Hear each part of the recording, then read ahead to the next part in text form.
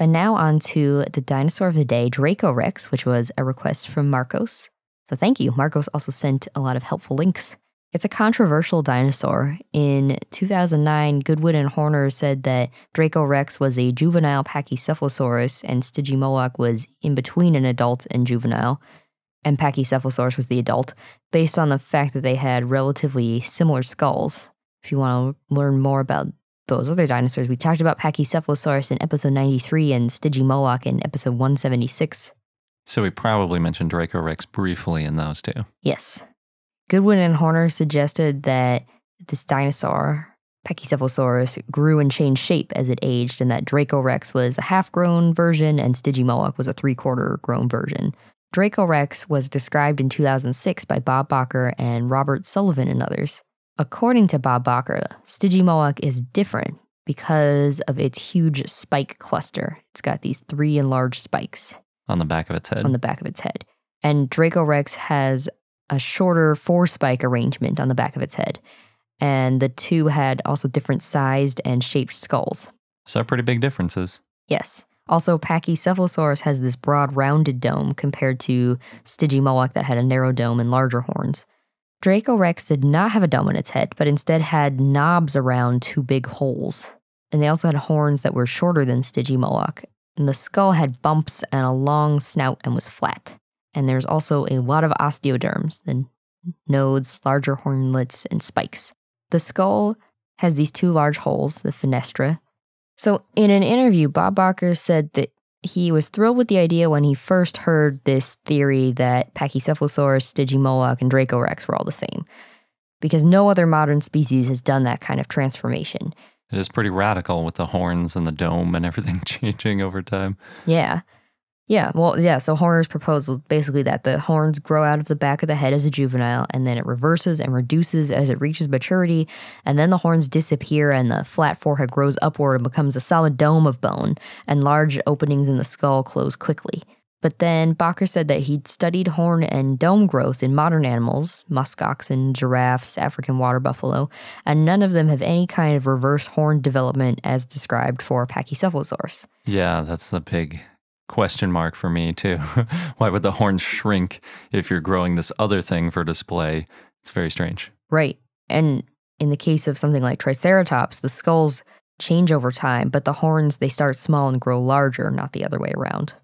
Bakker also said that he had a genuine juvenile Pachycephalosaurus skull about two thirds the length of an adult, and the skull had, quote, a shape that's 95% like the adult stage. Hmm. So I've got a longer quote from him. He said, quote, the horns are small, the temporal holes are gone, and the dome is huge, and dome development has distorted the neighboring bones above the eye. This juvie Pachycephalosaurus is just as small as the Dracorex skull at the Indianapolis Children's Museum, but the juvenile Pachycephalosaurus had already acquired the definitive Pachycephalosaurus head structure. It doesn't look anything like a Dracorex. We have new Stygimoloch skulls too, the same size as the Dracorex. These Stygi skulls are not intermediate in shape. They have a small dome and large horns, the diagnostic Stygimoloch cranial configuration. So, though electrifying in its novelty, Jack's theory simply doesn't work. Pachycephalosaur dinosaurs did grow like Triceratops or like musk oxen. Bumps and horns simply got bigger and thicker all through life. There was no sudden dramatic growth reversal. By the time an individual pachy had achieved half grown size, its dome and horns were taking on the shape that was very close to what the adult would have. End quote. So you can see the two sides of the debate there for sure. Yes. In 2010, Nick Longrich and others said that all flat-skulled pachycephalosaurs were juveniles. Bob Bakker said, quote, Dracorex was the first flat-headed pachycephalosaur found in North America. Bakker said, quote, Dracorex is a scientifically significant milestone in the world of paleontology. It proves that family trees were still branching off and evolving even near the end of the age of dinosaurs. It demonstrated a world of color and movement in nature more recently than we ever thought possible, end quote.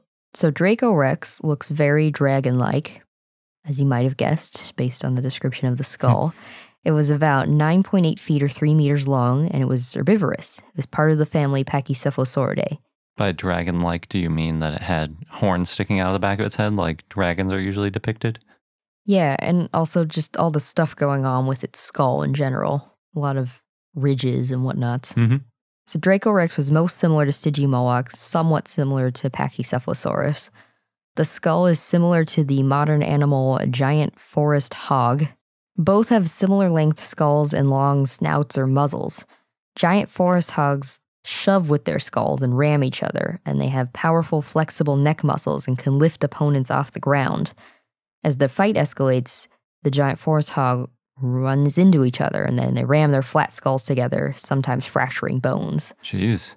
That makes me think those studies where they say, you know, they wouldn't have slammed heads together because it would have fractured something. It's like, well, maybe it would have, but that doesn't necessarily mean they didn't do it. That's interesting. Hard to say. So Dracorex may have pressed their heads together and then pushed, and then the knobs and ridges on the skull may have helped hold the skull together to prevent slipping. The spikes on the back of the skull also could have inflicted fatal wounds on the flank. So Oryx, which is a modern antelope, used their backward facing horns to kill predators, so maybe Dracorex and Stygimoloch did something similar. Interesting. Like a self defense rather than a display structure purely. Yeah, could be. So Dracorex was found by Steve and Pat Saulsbury, or brothers, and Brian Buckmeier from Sioux City, Iowa, while on a fossil collecting trip. They donated the skull to the Children's Museum in Indianapolis in late 2004 so that it could be studied. They found one nearly complete skull and four neck vertebrae. The type species is Draco Rex hogwartsia, and Yeah. the name means Dragon King of Hogwarts. That's And such a good one. yes, it is Harry Potter. So And Draco, even though it's Dragon King, it's really named after Draco Malfoy. Yeah, I think so. Yeah, Bob Bakker and others named it, and then they let J.K. Rowling know. And in a video with Bob Bakker, he said that she was a fan of the name. Who wouldn't be? Yeah.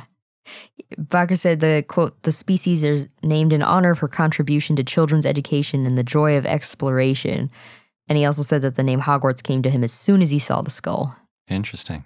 More of that dragon like resemblance, I guess. It's a good way to name something. It doesn't have any sort of implied behavior in it. It's just kind of what you think when you look at the skull. Mhm. So even if it turns out to not be what you thought it was, it's not like, oh, I named it a ceratopsian and it's not a ceratopsian. It's cool. I named it a dragon. and it still looks like a dragon no matter what it actually is.